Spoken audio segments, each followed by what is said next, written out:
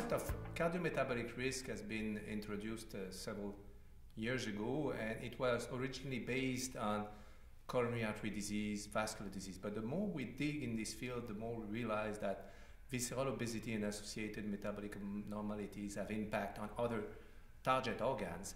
And uh, uh, what about the valvulometabolic risk? This is a concept that we introduced uh, a few years ago with uh, my colleagues and friends uh, uh, Patrick Mathieu and Jean-Pierre Després at the Quebec Heart and Lung Institute. And sensu stricto, the valvulometabolic risk can be defined as the risk of valvular heart disease uh, caused by the metabolic abnormalities uh, linked to uh, visceral obesity. And in this context, we found that there is a strong association between visceral obesity and metabolic syndrome and faster progression of uh, calcific aortic stenosis, a higher rate of events in these patients with uh, valvular disease.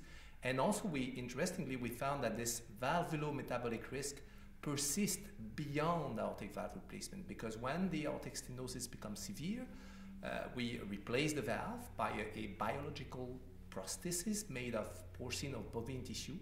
And, uh, well, interestingly, uh, we, this, the disease uh, continue on the on the on this bioprosthetic valve, and the bioprosthetic valve degenerates faster in these individuals with visceral obesity and, and associated metabolic abnormalities. And also, uh, the, this, this metabolism has an impact on the ventricle as well, not only on the valve. We tend to focus on the valve and think that this disease is strictly limited to the valve, but of course, this is a continuum, and the valvulometabolic risk also impact the adverse impact on the ventricle, the valve, and the vascular component as well.